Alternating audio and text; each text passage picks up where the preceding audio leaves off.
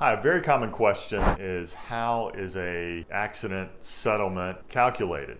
There are two main areas that an insurance company and the law are going to look toward to calculate the damages in your case. One is certainly the cost to repair or replace your vehicle.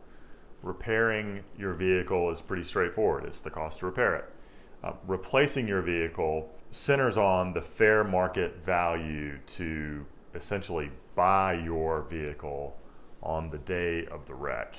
And so there are things like mileage, the condition of the car, certainly the make and model of the car and the features and those sorts of things that go into that.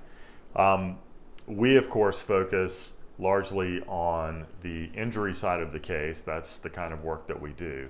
And so the injury side of the case depends, of course, on how badly you're hurt, how expensive your medical bills are, how much treatment you've gotten, and there are other various factors in terms of how um, to establish your loss of enjoyment of life, your physical pain, your mental anguish, and those sorts of things.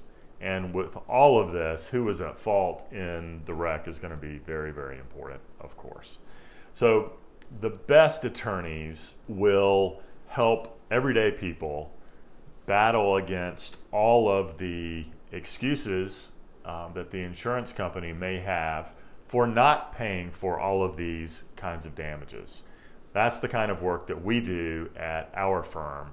If we can ever help you, certainly feel free to reach out and give us a call.